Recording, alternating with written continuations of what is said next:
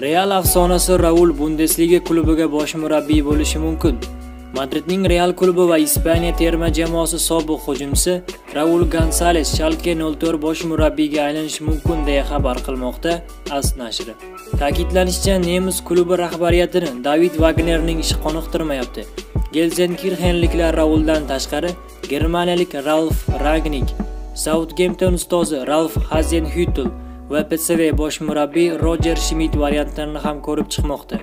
Raul hozirda Realning ikkinchi jamoasi Kastilya bosh murabbiyi hisoblanadi. U 2019-yilning yozida jamoani qabul qilib olgandi. Ispaniyalik mutaxassisga shalke begona emas, u 2010-2012-yillar mobaynida nemis klubida to'p surgan. Raul shuningdek Assad va New York Cosmos jamoalarida ham harakat qilgan. Schalke 04 Bundesliga 29-turdan so'ng 37 ochko to'plagan holda 10-o'rinda bormoqda. Jamoa ligada ketma-ket 10 ta o'yindan buyon g'alabasiz seriya qayd etmoqda.